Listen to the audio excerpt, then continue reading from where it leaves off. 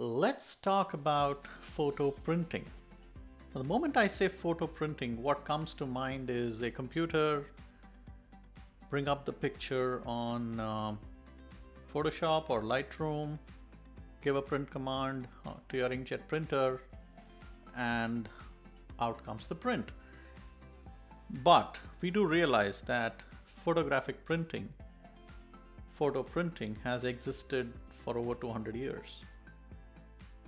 So there is life beyond digital printing, or should I say life before digital printing. So let's talk about this. Now, this, this whole thing started working in my mind uh, during the pandemic. I was going through my pictures. I started shooting in the late 80s, 1980s. So loads of film for almost 15 plus years. I shot on film and parallelly from about 2002 3 I was shooting on digital. So loads of digital files, loads of negatives and hardly anything had been printed. I would have probably in my life printed about 10 15 pictures. So I started thinking about really setting up at home uh, options to print. So the obvious answer obviously you know was get a get a digital printer and start printing but then what do I do with the negatives? Okay, I could scan them and then print, uh, you know, them digitally. But could I print them analog? Could I not use the computer or the inkjet printer to print them?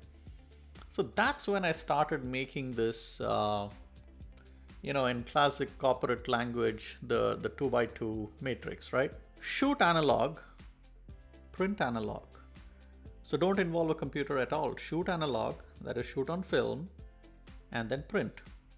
That was one option. And then of course, shoot digital, shoot on a digital camera and then print it on a digital camera. I mean digital printer.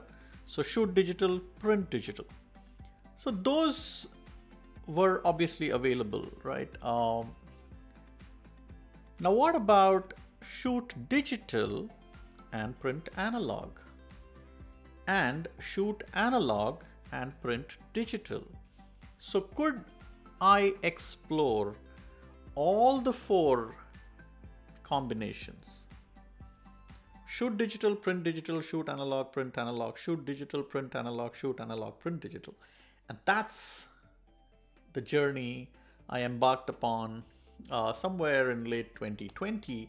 And I think I've, I've reached a stage where I can confidently talk about it um, I can actually talk about the things I did, talk about my experiments, talk about what all I needed to make it possible, and uh, also, very importantly, compare the output. Uh, the processes are very different. And what about the output? You would tend to think that the digital output is way superior to the analog. So I did print the same picture in digital and in analog for comparison. So all of that is coming. So stay tuned, subscribe and hit the notification button because I'm going to start this series which talks about these four combinations and how you can actually set up something like this, how you can do something like this and uh, get uh, outputs.